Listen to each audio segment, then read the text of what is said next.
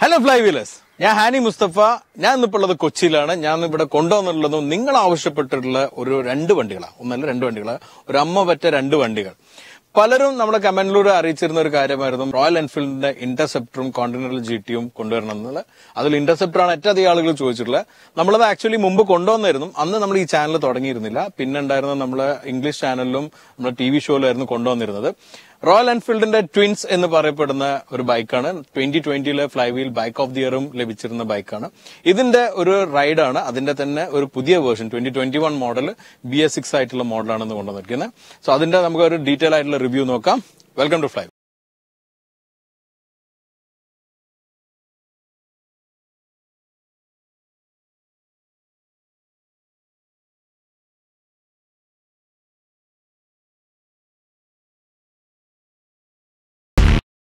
നമുക്കറിയാം Royal Enfield എന്ന് പറഞ്ഞാൽ നമ്മൾ മലയാളികളുടെ എല്ലാം തന്നെ ഒരു വികാരമാണ്. ഫോർ വീലേഴ്സിലാണെങ്കിൽ മഹീന്ദ്ര താറുള്ള പോലെയാണ്. റോയൽ എൻഫീൽഡ് എന്ന് പറഞ്ഞാൽ നമ്മുടെ ടു വീലേഴ്സിന്റെ ഇടയിൽ ഒരു വികാരമായിട്ടുള്ള ഒരു മോഡലാണ്. ഇതിന്റെ റിവ്യൂ എല്ലാം ആരും എപ്പം കൊണ്ടുവന്നു കഴിഞ്ഞാലും വൻ ഹിറ്റ് ആവാറുണ്ട്. അതിനൊരു കാരണം ഈ ഒരു ബ്രാൻഡിന്റെ ലെഗസി തന്നെയാണ്. ബുള്ളറ്റ് എന്നുള്ള പേരിൽ റോമന പേരിലാണ് നമ്മൾ എല്ലാവരും വിളിച്ചിരുന്നത്. ഇതിന്റെ ഒരു ലെഗസി എന്ന് പറഞ്ഞാൽ ക്ലാസിക് ത്രീ ഫിഫ്റ്റി മുതൽ തുടങ്ങിയിട്ടുള്ള ഒരു ലെഗസി ആണെങ്കിലും എന്നെ സംബന്ധിച്ചിടത്തോളം എന്റെ അടുത്തൊരു ബുള്ളറ്റ് ഉണ്ട്. അത് നയന്റീൻ ഫിഫ്റ്റി എയ്റ്റ് മോഡലാണ് അത് എന്റെ ഉമ്മനെക്കാളും പ്രായമുള്ള വണ്ടിയാണ്. ഉമ്മനേക്കാൾ ഒരു വയസ്സ് കൂടിയിട്ടുള്ള വണ്ടിയാണ്. അതൊരു ബ്രിട്ടീഷ് മെയ്ഡ് ബൈക്കാണ് അപ്പൊ ബ്രിട്ടനിലാണ് ബുള്ളറ്റിന്റെ തുടക്കമെങ്കിലും ഇന്ന് റോയൽ എൻഫീൽഡ് എന്ന് പറഞ്ഞ ഇന്ത്യൻ ബ്രാൻഡാണ് നമ്മൾ ടാറ്റയുടെ ജാഗർ ലാൻഡർ ഉള്ള പോലെ ഇന്ത്യ ഓൺ ചെയ്യുന്ന ഒരു ബ്രാൻഡ് തന്നെയാണ് റോയൽ എൻഫീൽഡ് എന്നുള്ള ഇപ്പൊ റോയൽ എൻഫീൽഡ് പുറത്തെല്ലാം അറിയപ്പെടുന്ന ഒരു ഇന്ത്യൻ ബൈക്കായിട്ടാണ് അപ്പൊ അങ്ങനെ വരുമ്പം റോയൽ എൻഫീൽഡിന്റെ ഒരു ലെഗസി വേൾഡ് ഓവർ അറിയിക്കാൻ വേണ്ടിയിട്ട് ഇന്ത്യയിലെ പോയി പുതിയ മാനേജ്മെന്റ് എടുത്തൊരു തീരുമാനമായിരുന്നു സിക്സ് ഫിഫ്റ്റി റേഞ്ചിലുള്ള ഒരു ബൈക്ക് കൊണ്ടുവരാന്നുള്ളത്. അതിനാദ്യം അവർ ചെയ്തിരുന്ന സിക്സ് ഫിഫ്റ്റി റേഞ്ചിലുള്ള പുതിയൊരു എഞ്ചിൻ ഡെവലപ്പ് ചെയ്തു. അങ്ങനെ ഒരു ഗ്ലോബൽ ബൈക്ക് ആയിട്ടാണ് റോയൽ എൻഫീൽഡ് ഈ ട്വിൻസ് ഇൻട്രൊഡ്യൂസ് ചെയ്യുന്നത്. ഈ രണ്ട് ഷേപ്പ് എന്ന് പറഞ്ഞാൽ ഇന്ന് ഗ്ലോബൽ മാർക്കറ്റിൽ ഇന്നും ഡിമാൻഡുള്ള ഒരു ഷേപ്പാണ് ഒരു ക്ലാസിക് സ്റ്റൈലും കഫെ റേസർ സ്റ്റൈലും കഫെ റേസറിന്റെ ഒരു കണത്തപ്പെടുന്നതാണ് കോണ്ടിനെന്റൽ ജി ടി എന്ന് പറയുന്നത്. ഒരുപാട് ഫോറിനേഴ്സ് എസ്പെഷ്യലി യൂറോപ്യൻസ് എല്ലാം ഇഷ്ടപ്പെടുന്ന ഒരു ഷേപ്പാണ് ഇന്ത്യയിൽ എനിക്ക് തോന്നുന്നു കൂടുതൽ പോപ്പുലർ ആയിട്ടുള്ള ഈ ഒരു ക്ലാസിക് ഷേപ്പാണ് അതാണ് ഇന്റർസെപ്റ്റിന്റെ ഷേപ്പ് അങ്ങനെയാണ് റോയൽ എൻഫീൽഡ് സിക്സ് ഫിഫ്റ്റി റേഞ്ചിലുള്ള ഈ ഒരു രണ്ട് സീരീസും ലോഞ്ച് ചെയ്യുന്നത്. അമേരിക്കയിൽ വെച്ചിട്ടായിരുന്നു ഇതിന്റെ റൈഡ് പോലും ഉണ്ടായിരുന്നത്. ഫസ്റ്റ് മീഡിയ റൈഡ് ഉണ്ടായിരുന്നു ഇന്ത്യ എന്നുള്ള റൈഡിലായിരുന്നു ഞാൻ റൈഡ് കൊണ്ടുവന്ന് ഗോവയിൽ വെച്ചിട്ടായിരുന്നു. അന്ന് രണ്ട് മോഡൽ എക്സ്പീരിയൻസ് ഇതിന്റെ പുറമെ നമ്മുടെ അടുത്ത് രണ്ട് മോഡൽ ലോങ് ടേമർ ആയിട്ടും ഉണ്ടായിരുന്നു.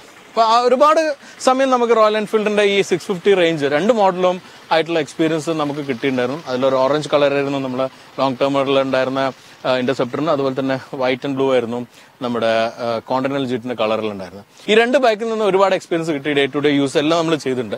ആ ഒരു എക്സ്പീരിയൻസും ഇന്ന് വന്നിരിക്കുന്ന ചേഞ്ച് ബി എസ് സിക്സ് എന്ന് പറഞ്ഞ ചേഞ്ചും കൂട്ടിയിട്ടുള്ള ഒരു റിവ്യൂ ആണ് ഇന്ന് ഞാൻ ഉദ്ദേശിച്ചിട്ടുള്ളത്. സോ അങ്ങനെ നമുക്ക് ഡീറ്റെയിലേക്ക് നോക്കാം.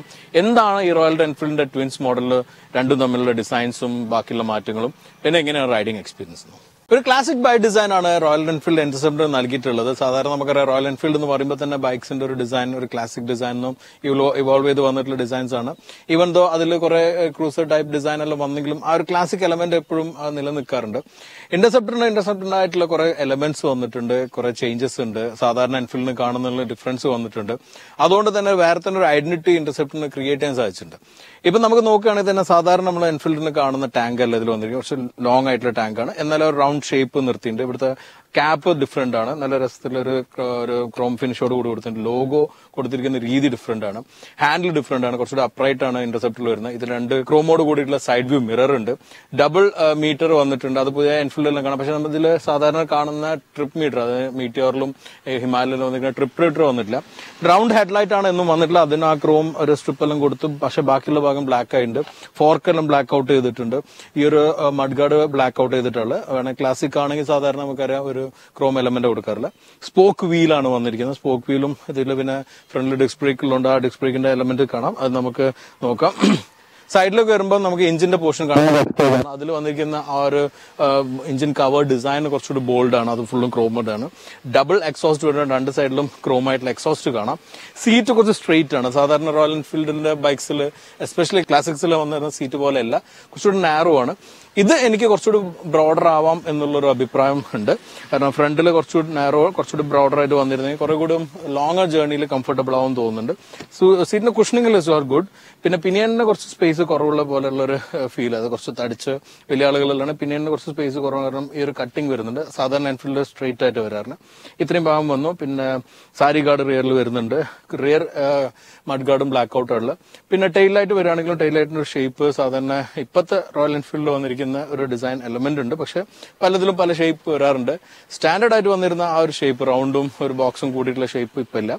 ഇതാണ് വന്നിരിക്കുന്നത്. ഇത്രയാണ് ഇന്റർസെപ്റ്ററിന്റെ ഡിസൈൻസ് ഉള്ളത്. പക്ഷെ ഇതൊന്നും വളരെ ഡിഫറെന്റ് ആയിട്ടാണ് കോണ്ടിനെന്റൽ ജി ഉള്ള കോണ്ടിനെന്റൽ ജി ടിക്ക് ആണെങ്കിൽ റോയൽ എൻഫീൽഡ് കൊടുത്തുള്ള ഒരു കഫേ റേസർ ഡിസൈൻ കഫേ എന്ന് പറയുമ്പോൾ നമ്മൾ പഴയ കാലത്ത് ഉണ്ടായിരുന്ന സാധാരണ ടൂറിംഗ് ബൈക്സ് അല്ലെങ്കിൽ ഇങ്ങനത്തെ ക്ലാസിക് ബൈക്കിന് സാധാരണ നമ്മൾ ഒരു സ്പോർട്സ് ബൈക്ക് ആയിട്ട് കൺവേർട്ട് ചെയ്യുന്ന ഒരു ഡിസൈൻ ഫോം ഉണ്ടായിരുന്നു. അത് പണ്ട് മുതലേ വന്നിട്ടുള്ള ഒരു ഡിസൈൻ ആണ്. അപ്പൊ ആ ഒരു ഫോമാണ് കോണ്ടിനെന്റൽ ജി ടിക്ക് ഉണ്ടായിരുന്നു. മുമ്പ് റോയൽ എൻഫീൽഡിന് കഫേ റേസർ എന്ന് പറഞ്ഞിട്ടുള്ള ഒരു മോഡൽ ഉണ്ടായിരുന്നു. അതും കോണ്ടിനെന്റൽ ജി ടി എന്ന് തന്നെയായിരുന്നു അതിന്റെ പേരുണ്ടായിരുന്നു ഇത് സിക്സ് ഫിഫ്റ്റി ട്വിൻ എന്ന് പറയുന്ന വേരിയന്റ് ആണ്.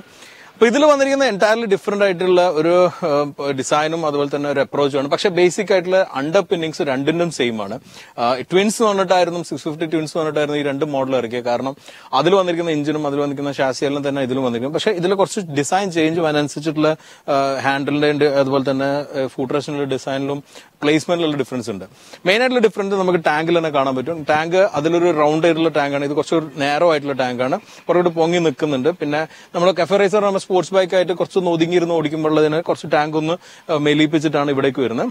സീറ്റ് ഡിഫറെന്റ് ആണ്. ഇവിടെ കുറച്ചൊരു ഹൈറ്റ് ആയിട്ട് നിൽക്കുന്ന പിന്നെ പിന്നെ എന്നുള്ള റൈഡിംഗ് സീറ്റും കൂടെ ഉള്ളത് ഇതും എനിക്ക് തോന്നുന്നു കുറച്ചുകൂടി ഒരു റൈഡർ രീതിയിൽ കൂടെ കട്ട് ചെയ്ത് എടുക്കാമായിരുന്നു സാധാരണ കഫറൈസറിന് വരാറുള്ള ഈ സീറ്റ് വളരെ പൊങ്ങിയിട്ടുള്ള രീതിയിലാണ് സിംഗിൾ സീറ്റിന് ഒരു ഫീൽ കിട്ടുന്ന സീറ്റ് ഉണ്ടാവാറുണ്ട്. പക്ഷെ പ്രാക്ടിക്കലി രണ്ടുപേർക്കെല്ലാം കുറച്ചുകൂടെ റൈഡ് ചെയ്ത് പോകുമ്പോൾ സുഖം ഇങ്ങനെ ആയിരിക്കും എന്നാലും ഞാനതൊരു സിംഗിൾ റൈഡർ ഒരു ബൈക്ക് പോലെയാണ് എനിക്ക് കോണ്ടിനെന്റൽ ജീറ്റിനെ കൂടുതൽ ഫീൽ ചെയ്തിട്ടില്ല എനിവേ ബാക്കിയുള്ള ചേഞ്ചിൽ ഒന്നുള്ളത് ഹാൻഡിലാണ് ഹാൻഡിൽ കൂടെ ലോ ആയിട്ടിരിക്കുന്ന ഒരു ഹാൻഡിലാണ് നമ്മൾ ഇരിക്കുമ്പോൾ പൊസിഷനിൽ തന്നെ കാണാൻ പറ്റും ഞാൻ കാണിച്ചു തരാം. പിന്നെ മീറ്ററും ലൈറ്റെല്ലാം സെയിം വന്നിട്ടുണ്ട്. ഫ്രണ്ടിൽ വന്നിരിക്കുന്ന മഡ്ഗാർഡിന്റെ രീതിയും സെയിം ആണ്. അതുപോലെ തന്നെ സ്പോക്ക് വീൽ ഡിഫറെന്റ് അല്ല. റിയറിലേക്ക് വരുമ്പോൾ സീറ്റിന്റെ ഒരു ഡിഫറൻസ് ഉള്ളത് പിന്നെ വന്നിരിക്കുന്ന മാറ്റം ഫൂട്ട് റെസ്റ്റിലാണ് അതെങ്ങനെയുണ്ടെന്ന് കാണിക്കാം. എന്റെ. ഇപ്പൊ ഇങ്ങനെ പൊക്കി കഴിഞ്ഞാൽ നമ്മൾ ഇപ്പൊ നമ്മൾ ഇരുന്ന് കഴിഞ്ഞാൽ കിട്ടുന്ന ഒരു ഫീൽ നേരത്തെ ഇന്റർസെപ്റ്റർ കുറച്ചുകൂടി അപ്രേറ്റ് ആണ്. ഇത് കുറച്ച് താമതായിരിക്കണം അതുകൊണ്ട് തന്നെ നമ്മൾ ഫൂട്ട് റെസ്റ്റ് കുറച്ചുകൂടി ബാക്കിലേക്കാണ് ഉള്ളത് ഫൂട്ട് ബാക്കിലാണ് തന്നെ. ഈ ഗിയർ ലിവറിന്റെ പൊസിഷൻ അതിന് റിയറിന് ഫ്രണ്ടിലേക്കുള്ള രീതിയിൽ ലിവറാണ് ഇത് ഫ്രണ്ടിന്നും റിയറിലേക്കാണ് ഈ ലിവറിന്റെ പൊസിഷൻ വന്നിരിക്കുന്നത്. ആ രീതിയിലാണ് ഇത് വന്നിരിക്കുന്നത്. അത് ഇപ്പുറം നമുക്ക് ബ്രേക്ക് പാഡലിലും കാണാൻ പറ്റും.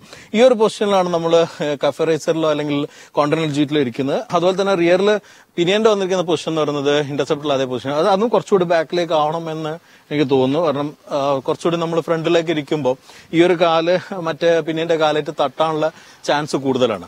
ഇതാണ് ഇതിൽ വന്നിരിക്കുന്ന ഡിസൈൻ ചേഞ്ച് ബേസിക്കലി രണ്ട് രണ്ട് ഫോമിലുള്ള ബൈക്സ് ആണ്.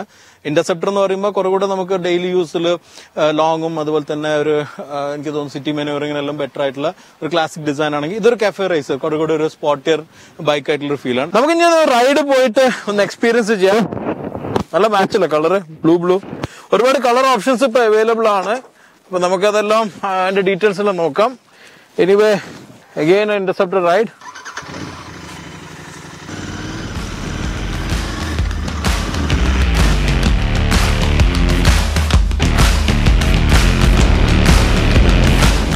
Royal എൻഫീൽഡിന്റെ ഈ രണ്ട് ബൈക്കിനെ ട്വിൻസ് എന്ന് വിളിക്കാൻ രണ്ട് കാരണങ്ങളാണുള്ളത് ഒന്ന് ഇത് രണ്ടും തന്നെ ജനിച്ചിരിക്കുന്ന ഒരേ പ്ലാറ്റ്ഫോമിൽ നിന്നായതുകൊണ്ട്. മറ്റൊരു കാരണം ഇതിന്റെ പാരലൽ ട്വിൻ എഞ്ചിൻ ആയതുകൊണ്ടാണ്. എന്നാൽ മുഖ്യമായ കാരണവും അതാണെന്ന് വേണം പറയാം ഈ പാരലൽ ട്വിൻ എഞ്ചിന്റെ ഡിസ്പ്ലേസ്മെന്റ് അറുന്നൂറ്റി നാൽപ്പത്തെട്ട് സി സി ആണ്. നാൽപ്പത്തേഴ് പോയിന്റ് ആറ് അഞ്ച് പി എസ് ആണ് കരുത്ത് വരുന്നത്. അത് ഏഴായിരത്തി ഒരുന്നൂറ്റി അമ്പത് ആർ പി എം വരെ ലഭിക്കും. ടോർക്ക് ആണെങ്കിൽ അമ്പത്തിരണ്ട് എൻ എം ആണ് വരുന്നത്. എയർ ഓയിൽ കൂൾഡ് ആയിട്ടുള്ള ടു സിലിണ്ടർ എഞ്ചിനാണിത് ചെയിൻ ഡ്രിവൺ ആണ് ഇതിന്റെ ഡ്രൈവ് സിസ്റ്റം വരുന്നത്.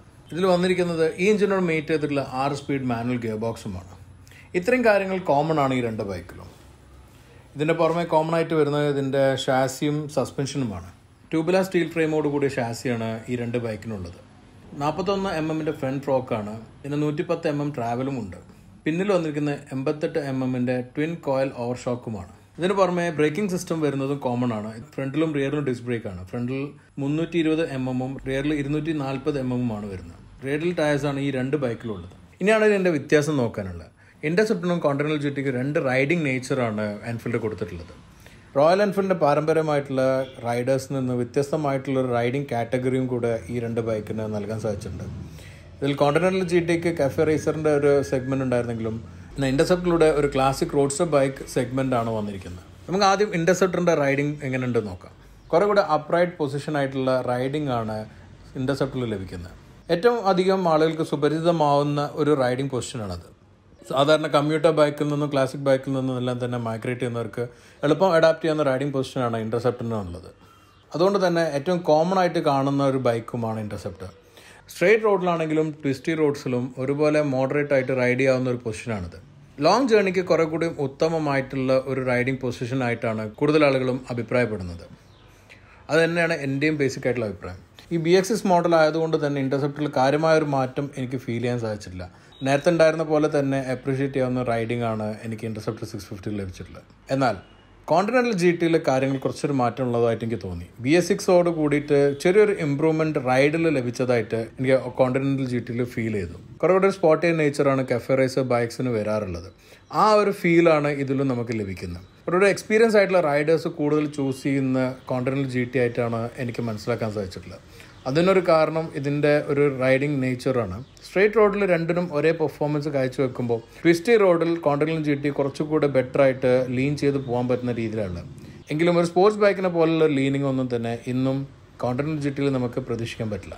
കോണ്ടിനെന്റൽ ജിറ്റിൽ എനിക്ക് കൂടുതൽ സവിശേഷമായി തോന്നിയിട്ടുള്ള സ്പീഡിൽ പോകുമ്പോഴുള്ള റൈഡിംഗ് പൊസിഷനാണ് കുറേ കൂടി എയറോഡൈനാമിക്സ് ലഭിക്കുന്ന രീതിയിൽ താഴ്ന്നിരുന്ന് ഓടിക്കാനും നമുക്ക് സാധിക്കും. അതുകൊണ്ട് ഡ്രാഗും കുറയുന്നുണ്ട്. പെർഫോമൻസ് റൈഡിംഗ് ആണ് ഇഷ്ടപ്പെടുന്നതെങ്കിൽ ഇന്റർസെപ്റ്ററിനേക്കാളും ആരും ചൂസ് ചെയ്യുന്നത് കോണ്ടിനൽ ജിറ്റി തന്നെ ആയിരിക്കും. എങ്കിലും സുപരിചിതമല്ലാത്ത ഈ ഒരു റൈഡിംഗ് പൊസിഷൻ ഒരു അല്പം സമയമെടുക്കും നമുക്ക് യൂസ്ഡ് ആയിട്ട് വരാൻ.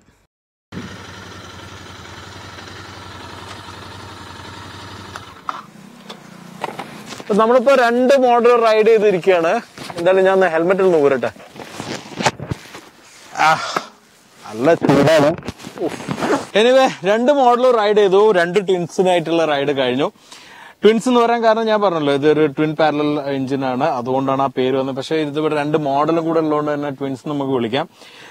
നല്ല ചൂടുള്ള ദിവസമായിരുന്നു. ആ, ആ ഒരു പ്രശ്നം ശരിക്കും ഞാൻ അനുഭവിക്കുന്നുണ്ട്. നല്ല ഡീഹൈഡ്രേഷൻ വരുന്നുണ്ട്. പ്രത്യേകിച്ച് നമ്മൾ രാക്കറ്റിലിട്ട് റൈഡ് ചെയ്യുമ്പോഴുള്ള പ്രശ്നമുണ്ട്. എനിവേ രണ്ടിന് എക്സ്പീരിയൻസ് ഒരു കൂൾ എക്സ്പീരിയൻസ് ആയിരുന്നു. ഫസ്റ്റ് ഓഫ് ഓൾ ഇന്റർസെപ്റ്റർ എന്ന് പറയുമ്പോൾ എന്നെ സംബന്ധിച്ചിടത്തോളം ഐ മോർ ഓഫ് ഇന്റർസെപ്റ്റർ ഒക്കെ എനിക്ക് കോണ്ടലൻ ചീറ്റിനേക്കാളും എനിക്ക് കൂടുതൽ റൈഡിംഗ് ഇഷ്ടപ്പെട്ടുള്ളത് ഐ മീൻ പൊസിഷൻ എല്ലാം ഇന്റർസെപ്റ്റർ ഉണ്ട്. പക്ഷെ കോണ്ടലൻ ചീട്ടി ഓടിക്കുമ്പോൾ ഒരു ഗുണം എന്ന് പറഞ്ഞാൽ ഒരു ഷോർട്ട് ടേമിൽ നമ്മൾ കുറച്ച് ഒരു ഒരു ഡിഫറെന്റ് എക്സ്പീരിയൻസ് കിട്ടുന്ന ഒരു ബൈക്ക് ആക്ച്വലി കോണ്ടലൻ ചീട്ടിയാണ് കാരണം കുറെ കൂടി നമ്മളൊരു ലോ ആയിട്ട് ഇരിക്കുമ്പോൾ സ്പീഡും ആ എല്ലാം തന്നെ നമുക്ക് എൻജോയ് ചെയ്യാൻ പറ്റും. പക്ഷെ അത് എൻജോയ് ചെയ്യുന്ന ആളുകളുണ്ട്. ഇത് തന്നെ ലോങ്ങിനെല്ലാം ഉപയോഗിക്കുന്ന ആളുകളുണ്ട്. അതുകൊണ്ടാണ് കഫെ റേസർ എന്ന് പറയുന്നത്. പക്ഷേ ഞാൻ പേഴ്സണലി എടുക്കുകയാണെങ്കിൽ ഇന്റർസെപ്റ്റർ ആയിരിക്കും. ലോങ്ങിന് പ്രിഫർ ചെയ്യുന്നുണ്ടാവുക. അതിന്റെ ഒരു കുറച്ചുകൂടി ഒരു അപ്രൈറ്റ് പൊസിഷനും ആ കംഫർട്ടും എല്ലാം തന്നെ ആ ഒരു ഫാക്ടറിന് ഗുണം ചെയ്തിട്ടുണ്ട്. നമ്മളാണെങ്കിലും ഇപ്പൊ നേരത്തെ നമ്മൾ ലോങ് ടേം ഉണ്ടായ സമയത്ത് ഞാൻ കൂടുതൽ പിക്ക് ചെയ്തിരുന്ന ഇന്റർസെപ്റ്റർ ആണ്. നന്ദു വോണ്ടലിന് ജി ടി എടുക്കാറുണ്ട്. എന്നാലും രണ്ടും വന്നു കഴിഞ്ഞാൽ ഒരു ഓപ്ഷൻ മാത്രമാണെങ്കിൽ നമ്മൾ എല്ലാവരും പ്രിഫർ ചെയ്തിരുന്ന ഇന്റർസെപ്റ്റർ അതുകൊണ്ട് തന്നെ ഇന്റർസെപ്റ്റർ ആണ് മോർ പോപ്പുലർ എന്നാലും ഈ ഒരു ത്രീ ലാക്ക് ബഡ്ജറ്റിൽ വരുന്ന ഈ രണ്ട് സിക്സ് ഫിഫ്റ്റി ട്വിൻസ് എന്ന് പറയുന്ന എൻഫീൽഡിനെ സംബന്ധിച്ചിടത്തോളം വലിയൊരു എന്താ പറയാ ഒരു ഗ്ലോബൽ എക്സ്പോഷർ കിട്ടിയ ഒരു ബൈക്കാണ് അത് ഇവിടെ ഇന്ത്യയിലാണെങ്കിലും നമ്മളെ സംബന്ധിച്ചിടത്തോളം സിക്സ് ഫിഫ്റ്റി റേഞ്ചിലേക്കുള്ള ഒരു മൈഗ്രേഷൻ അതായത് അതിൽ കയറി വരുന്നതിനും നമുക്കൊരു എളുപ്പം വന്നിരിക്കുന്ന സ്റ്റെപ്പായി മാറിയിട്ടുണ്ട് ഈ രണ്ട് മോഡലും അതുകൊണ്ട് തന്നെയാണ് ഇത്രയും അധികം ഫാൻസും ഇതിനുള്ള ഇതെല്ലാം നിങ്ങൾ എൻജോയ് ചെയ്യുന്നു കരുതുന്നു. എനിവേ ഞാൻ നിങ്ങളെ പ്രോമിസ് വീണ്ടും കീപ്പ് ചെയ്തിട്ടുണ്ട്. നേരത്തെ ഞാൻ പറഞ്ഞിരുന്നു ഞാൻ സിക്സ് ഫിഫ്റ്റിയും രണ്ട് മോഡലും കൊണ്ടുവരാൻ വീണ്ടും അപ്പൊ കൊണ്ടുവന്നിട്ടുണ്ട്. ഇതായിരുന്നു നമ്മുടെ എക്സ്പീരിയൻസ് നിങ്ങൾക്ക് വീഡിയോ ഇഷ്ടപ്പെട്ടെന്ന് കരുതുന്നു. ഇഷ്ടപ്പെട്ട ലൈക്ക് ചെയ്യണം. അതുപോലെ തന്നെ ഇഷ്ടപ്പെട്ടില്ലെങ്കിലും ലൈക്ക് ചെയ്യുക ഷെയർ എന്തായാലും ചെയ്യുക. അതുപോലെ തന്നെ നമ്മുടെ ചാനൽ ഇനിയും സബ്സ്ക്രൈബ് ചെയ്യാനുള്ള സബ്സ്ക്രൈബ് ചെയ്യുക. വീണ്ടും നിങ്ങൾക്ക് എനി ടൈപ്പ് ഓഫ് ബൈക്കോ കാറോ എന്താ വേണ്ടതെന്ന് വെച്ചാൽ നമ്മുടെ കമന്റിൽ അറിയിക്കാം. നമ്മളത് പറ്റുന്ന രീതിയിലെല്ലാം കൊണ്ടുവരാൻ ശ്രമിക്കും. എന്തായാലും ഈ ചൂടെന്തോ ഇനി എന്തെങ്കിലും ഒന്ന് പോയി തണുത്ത കുടിക്കട്ടെ. ലെറ്റ് ബി ഗെറ്റ് കൂൾ അടുത്ത തവണ കാണാൻ stay safe and enjoy drive